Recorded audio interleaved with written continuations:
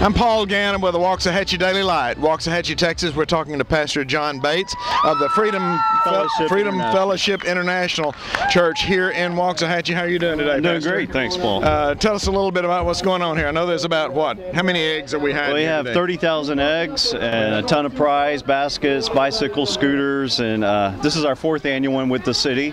And so uh, weather's good today. Wow, yeah, it is. It's beautiful today. Now you're working in conjunction with the city, is that right? It's with the city. It's the citywide Easter egg hunt. So. I see.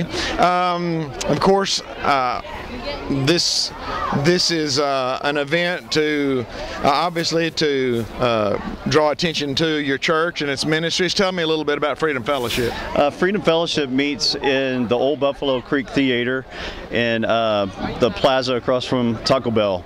And uh, we, we have big children's ministries. We love kids and youth and have a special uh, needs ministry. So we like to serve the city with the kids. Oh, wonderful. And how many uh, are you estimating that you're going to have out here today? Usually there's about 2,000 to 2,200, so probably about the same. All right, and uh, to our viewers, this is the Waxahachie's historic Getzendaner Park here in uh, the middle of town. And uh, again, how many years did you say y'all have been doing this? This is the fourth year. All right. Fourth year. Okay, it's and is is this uh, how old is the congregation? When did y'all begin here? Uh, we began actually in 1937, but uh, we changed our name three years ago, moved from our facilities, and it's a fresh new start. So, Okay, so this was the the old uh, Evangel, Evangel Temple that was on the freeway with the domes.